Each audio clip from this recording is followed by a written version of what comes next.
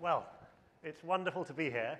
Um, welcome uh, to all of you here in the room, uh, and also welcome to the virtual audience tuning in with us as well. Um, this session uh, has the title Excellence as the Outcome of Diversity.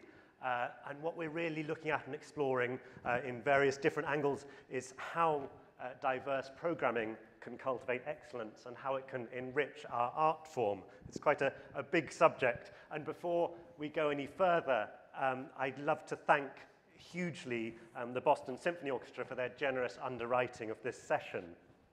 Um, yes, thank you. I'm exceptionally lucky to be joined on stage by these four wonderful people, wonderful musicians, wonderful thinkers. Uh, we have Melissa Munoz, Berginald Rash, Scott Tixier, and Dr. Seth Parker Woods.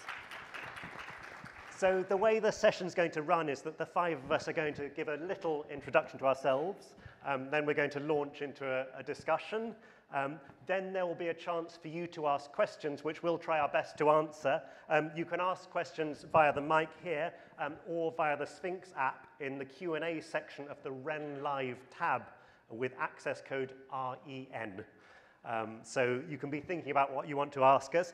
But to start with, um, I thought it might be just nice if we gave a little sort of mini bio each. Um, so we're just going to briefly say in about a minute each who we are, a bit about what we do, and maybe how our work fits into this whole sort of topic. So Melissa, why don't you, you kick us off? Hello, uh, my name is Melissa Munoz, and I'm so excited to be here today with you all and with all of you wonderful folks here on stage. Uh, I am a trumpeter, an educator, and the Pathways program manager at the Kaufman Music Center. So I'm based in New York City, and uh, I think that I fit into this discussion because as a freelancer, um, I am one of the only Hispanic women who is in spaces such as the Metropolitan Opera, as a sub on Broadway, uh, Carnegie Hall, and various other spaces.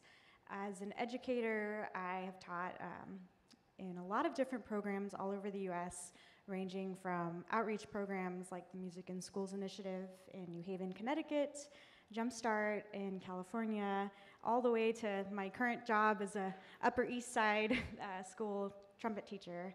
And as a Pathways program manager, my job is to enable these um, students to have access to resources to give them a really great music education.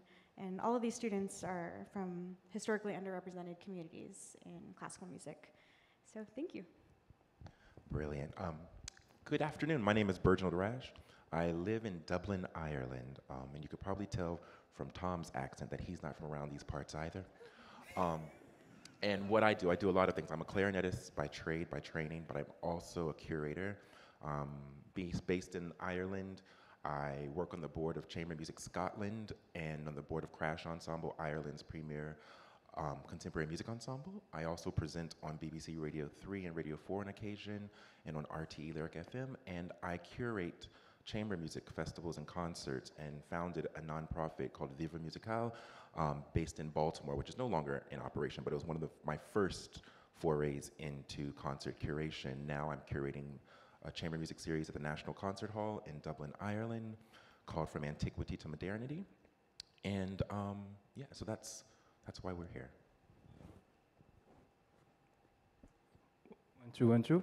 Hi, uh, my name is Scott Tixier, and I'm uh, from uh, France, from Paris. Um, I've been in America for 17 years, and uh, I moved here in America when I was uh, 19 years old or 20 years old, and I didn't speak any English. I moved to New York City, and I'm now a professor at the University of North Tex Texas uh, where I started the jazz string program. And um, I also perform um, with my projects and uh, various different bands um, all around the, the world. And uh, I'm a composer as well. Um, I have a twin brother. and uh, I love being here, and I'm, I'm, I can not wait to, to be part of this conversation. All those great um, artists and uh, thinkers. And uh, that's to you, Seth. Hello. Uh, I'm Seth Parker Woods, a cellist, curator, and professor of cello and head of chamber music at USC's Thornton School of Music. Um, a wide variety of the work that I've done over the years is looking at narrative storytelling. Um, also, another lens of that is through wearable technologies or technologies for uh, those that are uh, non-able bodies. Um, but the work I've been doing as of late is really looking at past histories, looking at adornment, looking at uh, the Great Migration as a source of inspiration and joy to build new works. Um, that has kind of led me at the present day uh, to um, my largest project right now, which is called Difficult Grace, which is kind of really combining the works of Barbara Earl Thomas, Jacob Lawrence, and poets Kemi Olave to create a, a rather long um, evening length uh, production on stage, which is now Grammy nominated. Yeah. Thank you. Thank you. I feel very honoured to be on stage with these four. Um, my name's Tom Poster. Um, I live in London. Um, and if any of you have seen me over the last uh, few days, it was probably running around the hotel in a circle with my two-year-old. Um, but I also uh, play the piano, I compose and arrange, uh, I love to program, um, and I suppose at the center of my musical life is Kaleidoscope Chamber Collective, which I founded a few years back uh, with Elena Urioste, uh, to whom I'm married and, and to whom many of you I'm sure will know. Um, I always feel the chamber music world has taken uh, longer to even sort of consider equity, diversity, and inclusion than, than even the rest of the music world, um, even though actually chamber music is the most equalizing uh, of all musical genres in a sense. Um, so Elena and I just love bringing together, and I suppose at a certain point we realized that our circle of loved collaborators already happen to be a pretty diverse group, which is certainly not unrelated to all the connections that Elena built here at Sphinx um, over many years. Um, and I suppose we've grown things by really seeking out the most wonderful musicians uh, from the widest range of backgrounds and experiences uh, we can, and similarly looking to expand repertoire, giving voice to composers from underrepresented backgrounds. So I suppose, although I do many things, that's the happiest and um, most meaningful thing of, of my life at the moment. And it's definitely made, well, for me and Elena, it's made our lives more excellent. Uh, and that leads me on. Um, that the title of this um, session is Excellence as the Outcome of Diversity. And I thought we might just zoom in on that word excellence. And I suppose the questions I wanted to put to my colleagues here um, are these. Um, how might we helpfully expand the definition and meaning of excellence beyond its sort of more conventional meaning of, you know, doing the best concert? Um, you know, the subtext of that is that often I think what's going on behind the scenes is more crucial, arguably, than the shiny public face of what we do. Uh, and a sort of related question, um, is there an unfair pressure on organizations focusing on equity, diversity, inclusion to be excellent in the sort of traditional shiny sense rather than creating space uh, to grow naturally and to take risks? So um, I'd like to invite Melissa if, if you'd like to um, give us any thoughts you have, and then we'll, we'll go along the line. Yes, absolutely. That is quite a question. It's a Yes. very long question, but it's a, it's a good one. And I, I wrote some notes here, so I just want to make sure that I can get what I had previously thought about. Um, so I think if you really kind of hone in on the word excellence, um, it's pretty vague because it's really what you as a person define as excellence. Um, and for me, as I've learned throughout my career, um, sometimes if you're being called excellent, you might not feel that it's excellent or that, you know, it's, it's just really not so black and white. Mm. So I think that if you are finding value in your art, um, and if you're being really true to your values uh, all the way from when you started playing your instrument or what you're passionate about, that can really give you a sense of excellence if you're able to produce that. Um, so th- that's kind of the biggest thing for me is as Yeah. long as I'm staying true to my values and I feel like I am serving my purpose as a musician, that is excellent. Um, even if you know you don't win a competition or if you don't um, you know get the audition, if you feel like you represented yourself in a very true manner, then I think that's excellent. That's a really nice expansion of our definition already, I think. And Berginald, do you want to? Yeah, um, I think what happens is when we talk about excellence, we conflate excellence with perfection. And we're thinking excellence as the outcome of diversity, or we're looking for perfection. Obviously, we don't want mistakes. We want a blemish-free um, concert. We want an experience that is easily accessible, and all these things without acknowledging that when we say excellence, we're actually talking about this sort of striving for musical integrity, this striving for musical sort of transcendence. Uh, we all play music because we love it. We love the way the experiences we have making music, the connections we make. So I think when we're looking at this word, we have to really define it for ourselves. And for me, there's when I'm when I'm programming and I think of excellence, I think of is this great music and am I playing great music with great people? And not just great people in terms of that they can play their instruments proficiently. I think we get to a certain point in our careers where yes, we can put our fingers on the right buttons and play the right notes and be in tune, hopefully. Um, but after that, are these excellent people? Are they changing or do they have positive impact in the way they enter a space? Are they impacting positively on the rehearsal environment? Are they contributing to the conversations and the communities that they live and they work in that advance diversity? And so when I think of programming, I think of the vibe that we're creating. That this because it's not just the music. The music helps aid the vibe that we're wanting to create. I want to know more about the people and the energy that they bring to that space. Um, and so when I look at excellence, I think are we looking at excellence as uh, an outcome of the work that they've done as a performer, or are we looking at excellence as a trajectory of the body of work that they want to create and where they are in relation to what the work they, they're doing? Um, so that's, I think excellence just, it's, it's, it's this conflation of perfection, and we need to step away from that. Absolutely. Scott, I know you, you we, we were just talking backstage Oh about yeah, this yeah. buzzword. That's of a, that's a beautiful uh, question, and uh, I have to say that um, excellence has been a, um, a definition that has been fluctuating for me uh, and uh, throughout the years. And there's many angles for for excellence and how to define it. Um, it could be in academia, for example, to define by grades and uh, and uh, research uh, contributions, but also um, as an artist, it could be risk-taking, risk-taking and um, uh, creativity that that will define excellence.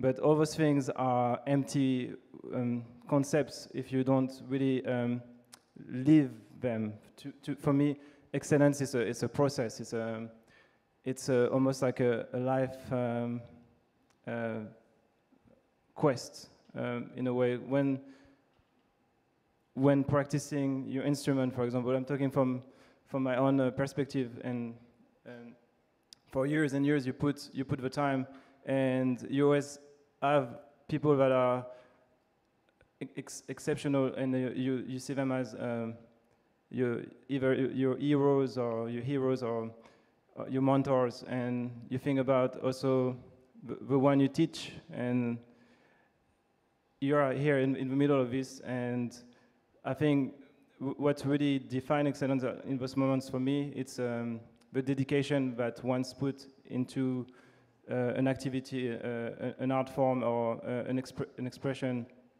a project, uh, or the commitment. So it's like the willingness to to go and never stop, to go be Yeah. beyond what you thought was impossible. So I think that's for me excellence. It's like to have the courage to not give up, and no matter what happens. It's a beautiful Yeah. redefinition, I think. I, I'm, I'm loving all of these redefining of excellence. So, Seth, do you want have, to add anything? I have nothing to say. They've said everything. No, but I guess at the core of it, it is growth, right? It's it's unabashed growth and innovation as we look at what the these multiple communities and lenses can actually be. Um, at the at the core of it is how far we can really go, how we redefine the narrative, how we look at programming, uh, how we look at these different types of models. For years, I was. Um, artist in residence with the Seattle Symphony, and at a time of, of pivotal change.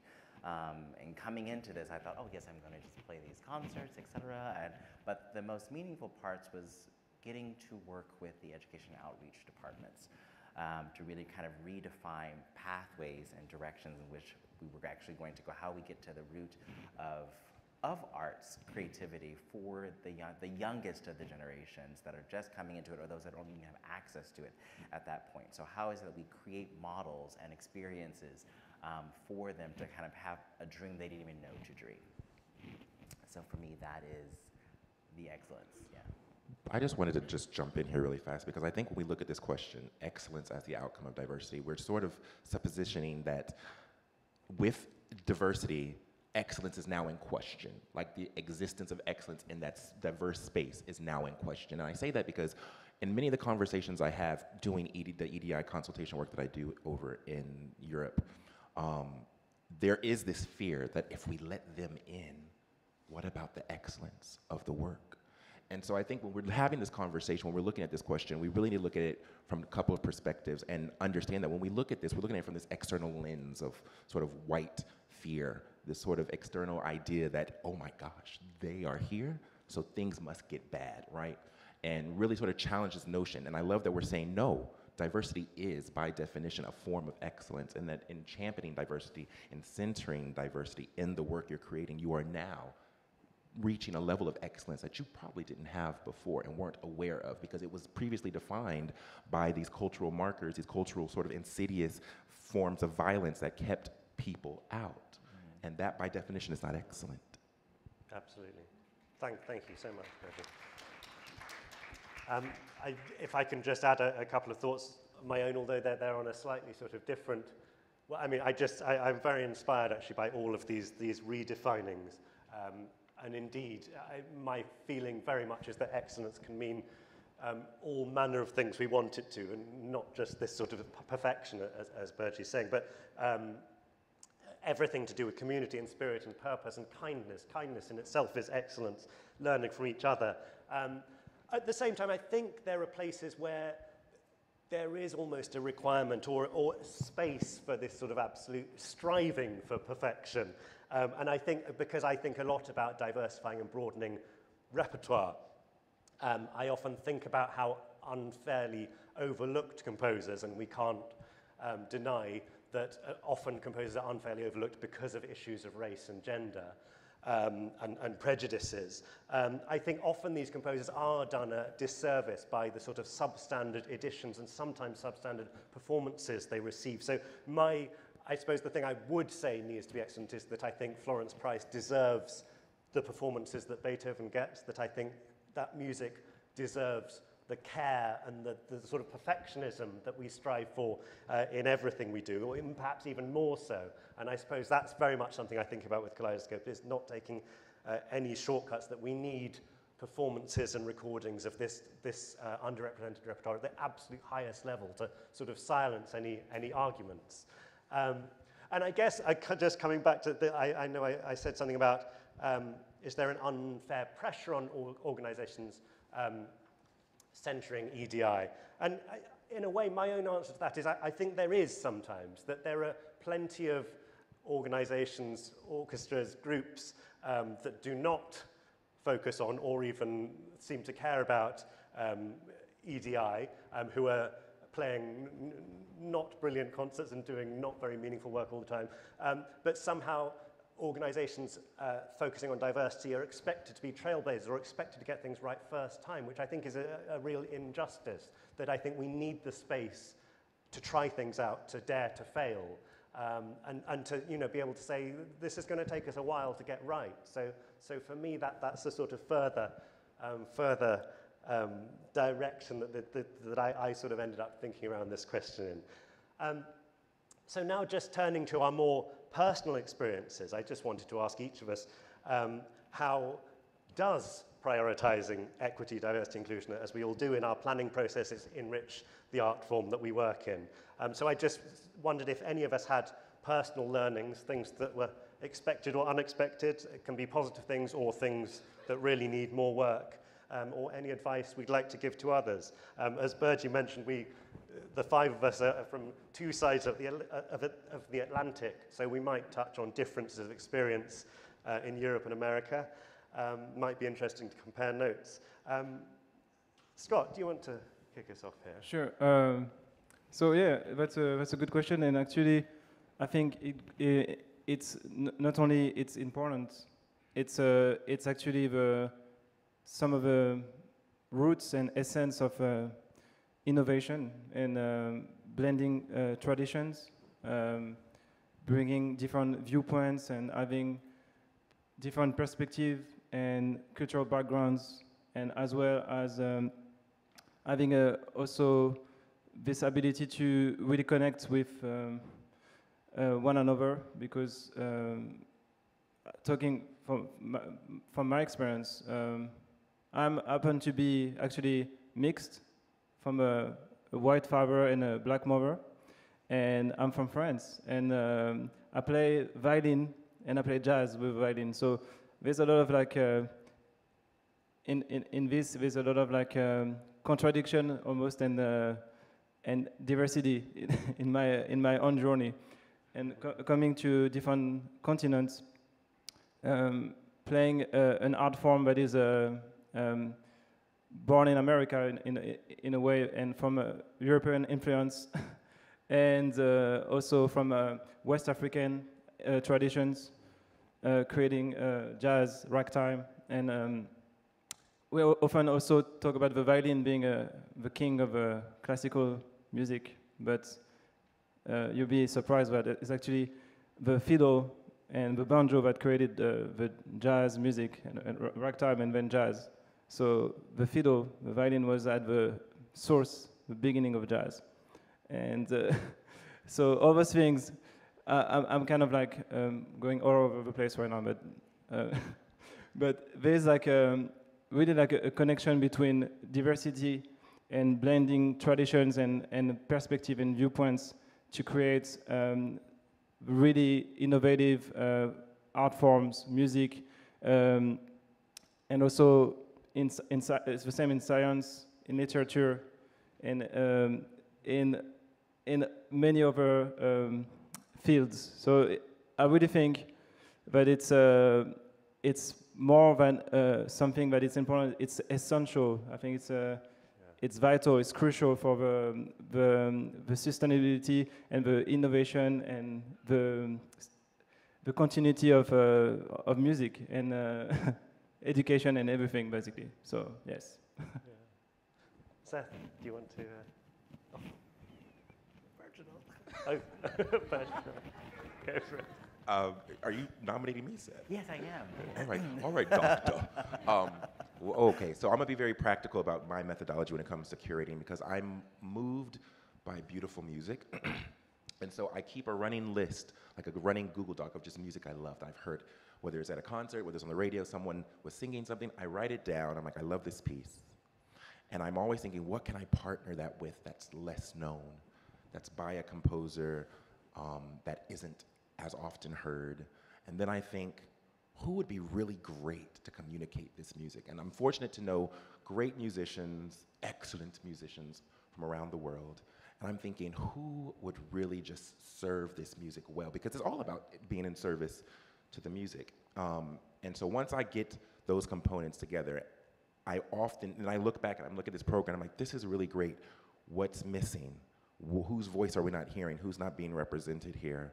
Um, what perspective could be added here to enhance this. And then I take that and I move forward to another idea. So I, I, I, I mitigate that issue, and then when I go forward to another program or whatever, I keep that in mind that, oh, I forgot about that, or I forgot about this person's contribution, or this person's way of viewing music or interpreting something. Because you've heard, you know, I'm a clarinetist. I've played Brahms Trio. You've heard Brahms Trio probably. You could get many recordings of it. And the question isn't can you play it, it's now what do you have to say? So I want people to play things. I want to curate programs where people are saying they're communicating. And and and that for me is supreme. And so I'm looking for repertoire that speaks, that can sit in, in conversation and in concert with other works um, that might not be as well known or stand on their own and are great pieces that need to be heard. And I'm off, always keeping in the back of my mind that I want composers um, from underrepresented backgrounds. I'm always, always, always reaching out, looking for repertoires, particularly for clarinet. So if you know anybody writing something. um, and keeping that running tab and just always trying to create moods and moments and experiences that resonate to the human person that's sitting and listening and the person performing it. That really resonates with, with me, and I'm sure with a lot of us uh, in terms of the processes we're going through. So thank you so much, Bertrand. Seth. Seth. um, I guess I, uh, the process or the experiences of looking at how we're diversifying or just expanding. I, I try to stay away from diversification because it, it's, it's become so convoluted Mm-hmm. uh, or, it empty in certain circles. Um, just a, a key word, a hot word that people are using in some ways. Um, but yes, it is, it is the people that that create, I guess, an experience that are able to really carry these stories and narratives, but also, I guess, if I'm looking from the lens of curation, um, it's also what is missing in the way of who's writing the program notes, who is really telling the larger story of this narrative. Is there something more that can happen here, especially when it comes to the commissioning of new work and new voices, and who's actually out there and what we can pull from? Um, especially in this, I, I have to use examples in a way and not speak in large strokes in some ways. So the latest project of mine, Difficult Grace, it was important, even though there's a, a large kind of centering of black creativity and black uh, exploration. Um, not all of the composers were black, but maybe the librettist was black or of the diaspora, or um, the, the visual artists that I was pulling from or working directly with were, um, or the dancers were, the choreographers were. So finding a way to still be able to tell the story through different lenses and all of us being able to really learn from different kind of lived experiences, um, but also at the same time trying to find unique and truly sincere and powerful beings really to kind of lead, lead that Calvary. And of course, there's always going to be pushback in some ways because we're all coming from different, I guess, different, different walks of life and our different experiences and trying to make sure at the, at the end of the day or at the core of the project or whatever they are or of our seasons, there is a beautiful through line that really ties these things all together in a way that, that is central to what we're trying to do. Hmm. Thank you, sir. Melissa? Thanks, y'all, for all of that. It's totally true, and it's absolutely crucial. I see that in my day to day life. Living in New York City, I'm so lucky to cross paths with so many different kinds of folks from a lot of different places in their life and where they were born and things like that. Uh, and what you were all saying kind of reminded me of one of what my best friends told me when we were roommates. She's also a trumpeter, but she was a middle school band director for a few years. And she would talk to her students and say, Do you know that kid over there? And they'd be like, No. Oh, well, they look different than you, don't they? They're like, Yeah. Well, they probably came from a different place and have different life experiences than you. You should get to know them and you might learn something. And when she told me that, I thought, duh, that's so simple. Like, it's literally that simple. Um, and so uh, I really just valued that she was teaching her kids at such a young age that um, get to know people who look different from you because it's almost certain they're not the same as you. Uh, and the other thing that I wanted to uh, touch on was starting these students really young. Uh, so, working at the Kaufman Music Center, we're lucky to have a school that is dedicated to giving children a great general education, but also biweekly lessons. So, two lessons on their instruments, starting in kindergarten, going all the way through high school. And um, two of our students were actually two of the junior winners at the competition. And yeah, they're awesome. Amazing. they're so wonderful, and they started learning and studying in kindergarten. And that's due, I think, to um, our selection process, to the school, and making sure that it is diverse and uh, really giving them the resources to excel. Um, you don't become really successful without these kinds of resources. So I think investing in programs that are starting students with um, an excellent and rigorous music education really early on is essential to even having this conversation. Yeah. Um, and I think that's, you know, it's certainly a huge topic and everybody is here and learning about that and that's really great. And the next steps are putting it into action and investing in it. So- Yeah, totally agree. And I think, you know, all, all of our lives are improved as musicians, but also as people if we, if we look open-mindedly and outwards. Um, I mean, just in terms of the U- UK-US divide, which actually in the music world often seems quite a big divide, uh, or the US and Europe uh, too. Um, so for me, you know, personally, meeting Elena just sort of, um, you know, I think, well, opened both our worlds in this sort of wonderful way of, of all these connections that, um, uh, you know, we've, I think, just both grown from so much sort of listening. I, I've kind of uh, been so lucky to grow this new family uh, in the States, and, and, and, uh, and, then we're based in London a lot of the time. So it, that's been really a sort of very personal um, illustration of that. Um, the other thing I wanted to say is we, we've talked about the title Excellence as the Outcome of Diversity, but in a way I feel that sometimes um, diversity uh, is the, uh, sorry, yes, um, diversity as the outcome of excellence uh, is equally relevant, or it should be, um, uh, because it's impossible to deny that a huge proportion of the world's most profound and brilliant musicians are from demographics which have been historically underrepresented in the classical music world, i.e. they're not white and male. Um, I think with Kaleidoscope, Elena and I realized that, as I mentioned earlier, with the people we most loved playing with happened to be a, a, diverse mix. And I think if we're really moving through the world in an expansive way, I think that just will happen, or it should. I, at the beginning of setting up this, this uh, Kaleidoscope, we talked a lot, and then at a certain point, we sort of stopped talking. You realize that some of these areas are sensitive topics uh, for a lot of people, and sometimes it's hard to find the right words. Um, and I'm someone that sort of doesn't thrive on confrontation. So in a sense, I think what we realized in the end, and if there was any advice I would give, um, is that we, we ended up realizing we should be talking less and just doing more and leading by example, which I feel is what all my colleagues on stage are, are doing.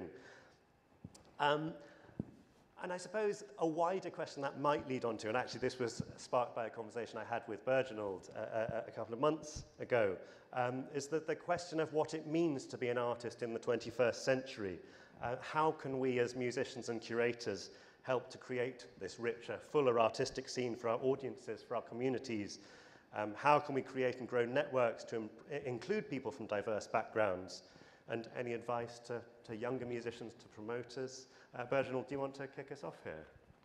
Um, sure. Um, I think about this a lot because the reality is, is that particularly with chamber music, you'll find that they are curated by people who then hire their friends to play.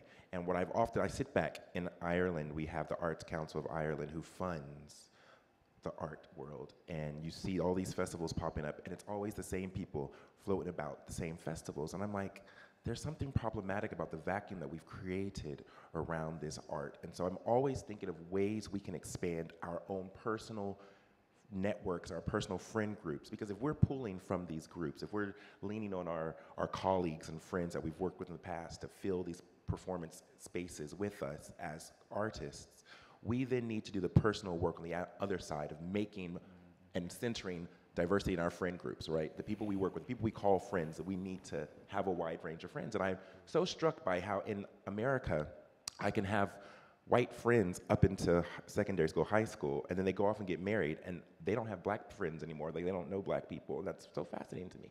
Um, and it's, you see the same thing in classical music. Like they go to school with us, and then they go and create these projects that have never shown the face of anyone that doesn't look like them. And that's problematic. And so I think what we have to do in, in order to create these more diverse rosters of players, these more robust looking programs of, of, of, performers and repertoire is we need to take the onus upon ourselves as curators, as artists, to expand our personal networks. And I say this on the board of Crash Ensemble, I say this at um, Chamber Music Scotland. We need to be more intentional about making connections and contacts beyond our comfort zone. And we need to be sure that when we're hiring, when we're investing in our, our art form, we're doing so with an eye towards the other, the subaltern voice, right? And, and, and, and if we're only looking at the people in our most immediate circle, which we've cultivated, we've curated for ourselves because we're in the safe space that we've created with the people that look like us, that think like us, we are now losing the diversity of thought. We're losing the diversity of creativity. We're losing the diversity of experience that then enriches um, these, this programming. So my, my, my charge would be to examine your friend groups, examine how diverse they are, and see where you're lacking in expanding that beyond your own milieu. Thanks, Bertrand. Yes, um, that's, that's, wonderful what you just said. I couldn't say it any better because first I don't speak English very well. but, I'm not true.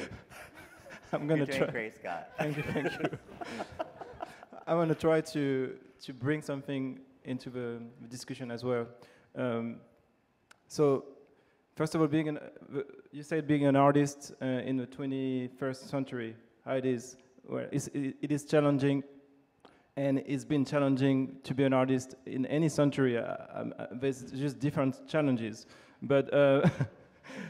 I, would say that the, some of uh, the challenges that I experienced, since I'm not from a classical um, uh, community, I'm, I'm, I'm, a kind of a, an anomaly here. So I play violin and I play with a lot of classical musicians in an orchestra on Broadway. I did that a long time ago. I, I, I play sessions and things like this, but I'm also uh, a soloist and I do my, my own project uh, as an improviser, as a jazz musician.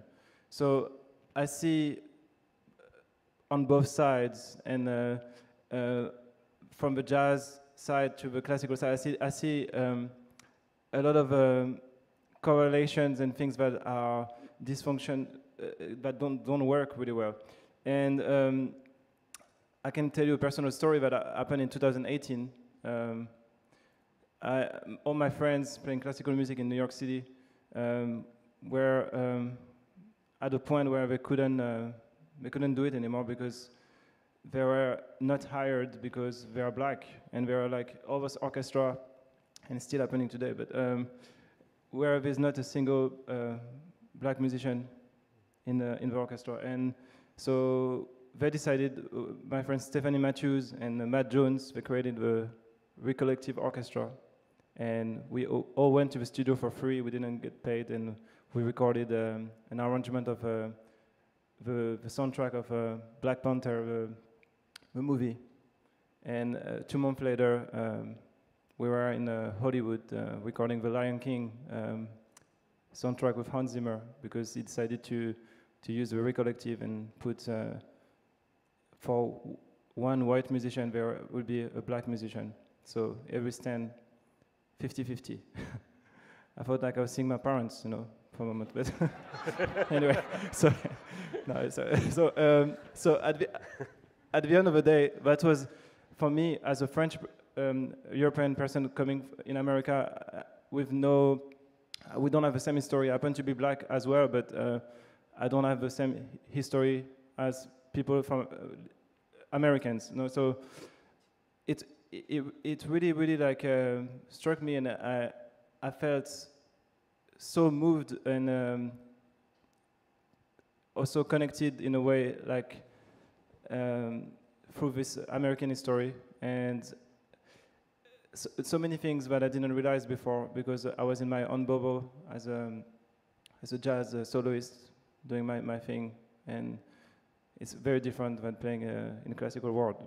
but I did the, the, con the, the, conservatory in Paris when I was young and I was always uh, uh, uncomfortable because of my hair, because of my, my skin color. So uh, being an artist in the 21st century is not only being an artist uh, when you're an adult and uh, when you achieve your goals and you're professionally work working and anything. It's how you become a professional musician and your, your way to it with all the obstacles when you don't look uh, like the, the norm in a way. It's, it's not only in America, it's, uh, it's all around the world and uh, it's in conservatories in Europe, in orchestras. It's on TV gigs, and I see it everywhere. It's, a, it's a also in academia when when there is a full department of jazz, and there's not a single black professor teaching black music, you know, and everybody's is, so.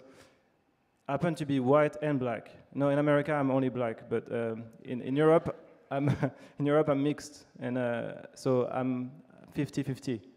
But, you know, it's not 50-50. I'm 100% mixed. so for me, I, am I'm, I'm not 50-50. I'm 100% mixed race. So, it's another subject. I think there's a panel actually talking about this right now. mm, yeah.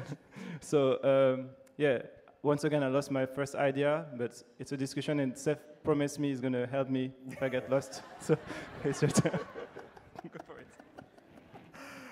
So I think the idea here, we're going to pull it back. Thank you, Scott. Um, daring to look where, at where you are, where you've been trained, the pedigree, and what you've thought you were going to do or what you set out to do. And maybe, as my mother would say, to eat your fear, to go forth and try to redefine who you are. Um, I spent years um, studying and being that big classical cellist, thinking I was going to become this big, only classical soloist, playing only these the old classical concertos. And it was uh, a great mentor of mine, Ursula Oppens, pianist, who said, "You need to play everything." I was like, "You grew up in a family of dancers and jazz musicians. What are you doing?" Essentially, I feel like you are you are hiding from some part of yourself, and that was an awakening day for me. Um, and then to get more about her own background and her own stories, part that many don't know, um, it led me to really start to find new voices and new composers, uh, and then at one point to start to commissioning. My, my late mentor and teacher, uh, cellist Andrei Milyanov said when I was, I think I was 20, which was my first time I commissioned a piece, he's like, is there not already enough pieces for solo cello that you feel like you need to write another one?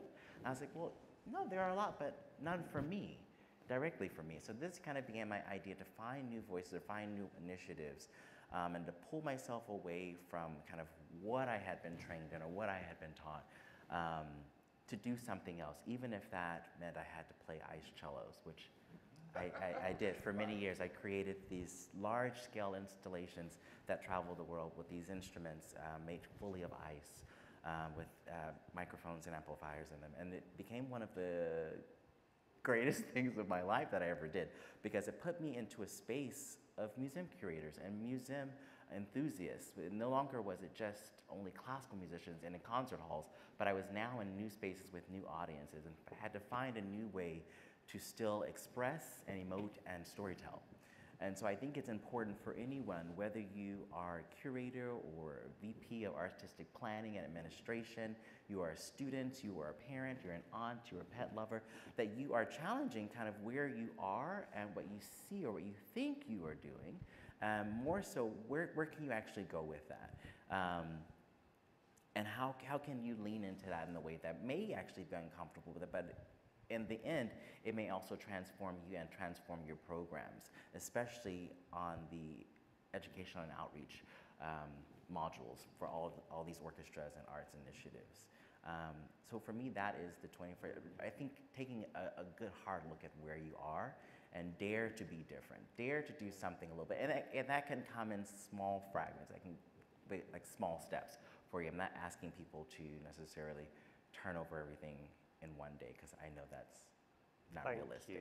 Thank you. I've slightly worried we're running behind schedule. I've been shown the 20-minute card, which means we need to move on to questions and answers. In but do you have something you want to quickly? Yes, I would love to share. And then, we'll, then we'll, we'll then we'll go to, to questions. questions. Yes. Um, so I totally agree with everything y'all have said, and I think that it is difficult to be an artist right now in the world. Um, I was immediately kind of taken back to this moment during my freshman year of college. I was sitting in my lesson with my teacher, and he looked to me and he said, Melissa, you, Melissa, you are going to have to work two times harder as a woman to make it as a trumpet player in this field. And I was like, okay, let's go, let's do it. And I didn't really think too much about it afterwards because um, I was challenged by my peers and went through all the steps and did everything that I thought was the correct thing to do in order to become a trumpet player, um, or at least a professional trumpet player. And uh, there were many times where I just got kind of hit a roadblock and was like, oh, okay, this isn't exactly what I want to be doing. Uh, I thought I wanted to be a music teacher. Uh, okay, switch to performance. Don't want to do that. Don't want to sit in a classroom. And I thought I wanted to be an orchestral musician really don't want to do that. Uh, then I thought I was going to be a chamber musician, and I was like, I don't know, back to orchestra. And then I quit playing altogether because the pandemic happened, and I was kind of like, there's no more options for me. So I'm gonna, um, I'm gonna be an administrator at a nonprofit. And during that time, I co founded a nonprofit called Brass Out Loud. And we started an online seminar series that featured a lot of uh, diverse musicians from orchestras, educational um, institutions, and also had a lot of mindset and growth classes like that. Um, so when I moved to New York, I was working straight at the Kaufman Music Center, and it was kind of the best thing that ever happened to me because after that I started playing again. And in New York, I now play all of these different things and more, um, including ragtime, which I'd never even thought that I would explore. Um, jazz, orchestra, chamber, new music that is quarter tones and microtones. I'm just like, what the heck am I reading here? Uh, but it's really expanded my life and uh, and my musicianship and and I, and I continually teach my, my studio of trumpet students who teach me more than, than I can teach them, I think. Um, they all have such unique perspectives and come from so many different walks of life. Uh, I have one student who's 92 years old, and he, yeah, he's amazing. Um, and he, on every occasion, like birthday, Christmas, he gets me this big bottle of wine, and I'm like, thank you. Uh, so, in all these times, I think what has really kept me going is staying very open and staying very curious and also being very, very flexible. Uh, so if there's one bit of advice I could give to younger folks in college is be flexible and be curious and be open. If something is not what you think it is, um, you can respectfully disagree, but I think it's important to keep your ears open.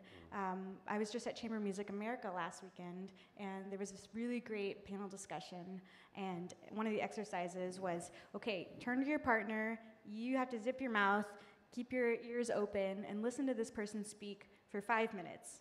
And that is really hard to do, to not talk. Which, if you know me, my boyfriend's right here, I talk a lot. I love to talk. um, and listening and, and just kind of actively listening, but not in a way where you're saying, uh huh, yeah, um, just really, really listening.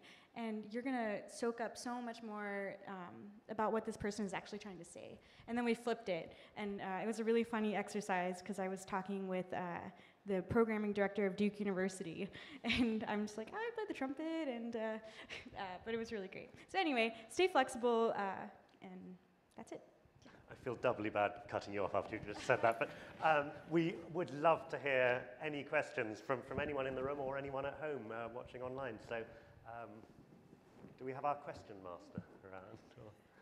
Yes, hello. Um, one question from the virtual audience is Do audiences the field needs to reach to expand have different expectations for excellence in addition to virtuosity, like community connection or immersion?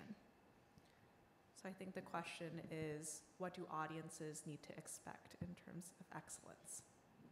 Does anyone want to? Um, I guess for in Ireland, what we're what our audiences seem to want is to feel like they're at home. We have a very lovely. If anyone's ever visited Ireland, you know that we have a, a healthy, robust pub culture, um, and so if you can create a space where people can feel like they're at home, they're feeling comfortable, they're welcome, they're familiar with the people that are there. Um, as I began curating for the National Concert Hall, one of the things, one of the mandates was we have to have recognizable Irish artists um, so that the community can see themselves reflected. Because I was going like, oh, we're going to bring in everybody. Um, and so I think communities want to be able to see themselves reflected in the process, in the work to feel excellent. Like we'll forgive mistake, misnotes, a squeak, if we're feeling engaged and, and, and a part of the experience, a part of the journey, because that's the, why we go to live concerts, right? We would just listen to a CD or um, Spotify if we didn't want that experience. So I think if we create a space where they feel welcomed, engaged, and are on the journey with the performer, because we're all rooting for them, I think that's my experience. If I can add something, um, you no? Um, so uh, yeah, that's uh, for uh, for me. Um, excellence would be like also, in addition to what was ju just said, um, to transport and uh, move the the audience, and with authenticity. And authenticity can be really uh, channeled by uh, diversity in a way because the more you have awareness about different cultures, backgrounds, and experience traveled and authentically connected to um, to the to the place you are, the music you, you, you are doing, um, the project you're on, uh, that will bring ultimately um, authenticity, and therefore that will um, connect um, with the audience and transport them because you'll be also transported. So I think it's a kind of a maybe a way to be um, authentic and uh, moved the audience. That's excellence to me. Like, yeah, if it's an answer. Shall we take another question? So, uh, my name is John Spencer. I'm the president of Chamber Music Cincinnati, and I happened to speak at Chamber Music America last week on a related subject. Um, so, I want to speak on behalf of the subject of this uh, panel, which is a diverse, di- diverse business organizations, there's a lot of data on this, are two to 300% more likely to be successful than those that are not diverse. Um, I, I don't know that there's data for performing arts organizations, but I know no reason why that wouldn't be the case. But it's not just diverse organizations, it's who do you choose to be diverse? You need truth tellers. People are going to tell you what you don't want to hear and what may disagree with the prevailing thinking, uh, as opposed to just choosing people who are going to go along to get along. The other thing that's important is how do you know that you're succeeding or not? It's data. It's the only way to hold an organization accountable is to be measuring. And Peter Drucker, who created this the study of management going back quite a number of years ago, said any organization not measuring its performance is just practicing. So you got to have uh, data, and data-driven organizations, interestingly enough, are two to three hundred percent more likely to be successful than organizations that are not data driven. Now, there's no data on what I'm about to say, but if you are both diverse and uh, data driven, think about how, more, how much more powerful that is. And in our own case, if you do these things and a few other things, uh, including have a, you'll wind up with a 50% BIPOC board, which we have. You'll wind up presenting 50% or more uh, black and brown artists on your chamber music series, and you'll wind up, which we have uh, had now for three years, more than 20% black audience in our chamber music series, which is the most of any chamber music presenter in the United States. So thank you all for doing this. Uh, um, this, is, this is a great panel. Thank you. Thank you. Hi, my name is Giselle Dominguez. I'm a double bassist and student at the Cleveland Institute of Music. Um, my question, well, first, I've played and premiered a lot of um, wonderful works by diverse composers and like composers from underrepresented backgrounds. And something that I've noticed is that a lot of these pieces get premiered, but they don't quite get like replayed like a lot of music in our canon. So like how do we ensure that works by underrepresented composers, like excellent works, um, not only get premiered, but keep getting performed and eventually become part of our canon? Seth, do you want to? You champion them yourself, and then you work with other educators that you may know, your teachers, and you teach them. Um, you introduce these works, and not just we're going to play this work, but what is the story behind this composer? What is the impetus behind this piece?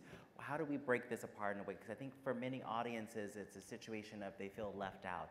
They don't have the key or the formula to what this work is really actually about. So many times they turn off because many of our classical light concerts in that way it's easier, it's, it's, more digestible for them, it's easier, they don't have to think too much. Yes, it still challenges, yes, it's still highbrow, yes, it still emotes, but I think for some contemporary works, or some, especially those that are writing now, that's not all of them, I'm thinking globally, um, there are situations where people just have no idea how to access or enter them. Um, for you in your case, and when I was special student, I think for all of us, it's getting together with our other colleagues that are sitting next to you in those rehearsals or in those classrooms and finding ways to keep playing them. I think the only way music stays alive or any type of art form is that we talk about it, we keep presenting it. And that doesn't, doesn't necessarily mean it has to be in the biggest of halls. It could be in a parking garage, it can be a parking lot, it can be in someone's home, house concerts, etc., at conferences, at showcases. Um, these are some of the best ways. And then talk to people that you know that are also curators and say, have you heard about this thing, uh, etc. I think it's just keeping it going. I think speaking those names into rooms that they don't know they're actually even in. Completely Thank you so agree. much. Yeah. Thank you, thank you, because that's a very good uh, answer. Because I actually premiered my my symphony, and it never. It's been a year, and I'm I'm looking for places to to play it again, and and it's very challenging. I get uh, so many roadblocks, and even though it's been premiered with an orchestra, so yeah, sometimes I, I, I will add, as a professional musician, sometimes I don't have the answer. You have more answer than me, right and I, I learned like a lot. So I'm, I'm gonna do what you what you said. It's a great symphony that he wrote, actually. I say contact um, concert curators, programmers. Um, if you're commissioning someone, form a consortium and ha- have sort of a stipulation that everyone's going to perform this work over amount of time, over amount of c- number of concerts. It's, it's getting as many people involved in the process from the beginning to the end. And if you have a piece that you love that you want to get out there, tell, like Seth said, tell people. Um, and don't feel afraid to send an email to a general manager or orchestra. This is a really great piece. I would love to see it. Even just as a concert goer, I think this orchestra should be playing this piece. You don't know what's going to happen, where it's going to go. And the, with the advent of social media, we have much more access to people more immediately than we ever have before. And so you can reach concert curators much more easily um, now than before. So don't be afraid to send that email, sit there and like, and fire it off. And We're document. very nearly out of time. We might have time for one more question with a, with a very quick answer before I give a few closing thanks. So, sure. Shall we Yes, have- this question is, what would you consider oppositional to excellence? Melissa, do you want to? Oppositional to excellence. Oppositional to excellence. Uh, Rather you than me on this one. really, yeah, that's a really good question. Um, well, I think the obvious answer would be uh, to be doing a lot of the same of what has been done over and over and over again. Um, so not not challenging yourself or not trying something new or not performing a new work would be op- oppositional. It's kind of there's no movement. Um, so staying stagnant, stagnant in your ways. Oh, that sounds like something my grandmother would tell me. like you're stuck in your ways. Um, but not moving forward and not trying something different, I think would be oppositional to excellence. Thank you. Thank you, Melissa. Um, so I think we've only got a couple of minutes left, so I just wanted to wrap up, unless anyone's got something they're desperate to say in like 30 second soundbite. Thank you for being here. Thank you for having us. Yeah. Um, I, I just actually going back to the previous question because I, I didn't answer that myself. The, the one piece of advice that's come to my mind in the last couple of days, because I've sat in on a couple of panels and I heard a couple of um, conversations and sort of advice around um, networking and, and sort of how to meet important people and stuff. But the advice I always give to young musicians is, is be kind and be interested in everyone, not, not just the people you think are important or who will advance your career, um, just because it makes your life better. And also, you just never know what's going to lead to anything else. It's often the most unexpected connections we make. So just be as open minded as possible, as all my colleagues have been saying. And the other thing, just lastly, is that I think you know it's important for all of us to acknowledge that we're in a bit of an echo chamber here. Um, it's amazing to have this conversation, but we're really preaching to the converted. I don't think there's anyone here that we need to convince uh, that a combination of equity, diversity, inclusion, and excellence uh, is important. So really, let's all go and continue this conversation as widely as possible elsewhere. Um, and finally, I, this has been such an amazing conversation. I wish I could talk to you all, all day. Thanks for such thoughtful, honest, um, wonderful answers. Hugest thanks to Melissa, to Berginald, to Scott, and to Seth. Um, and thanks again to the Boston Symphony Orchestra for underwriting the session. And thanks to all of you, whether here or online, uh, for your excellent questions and for joining us. And, and have a wonderful day. Thank you.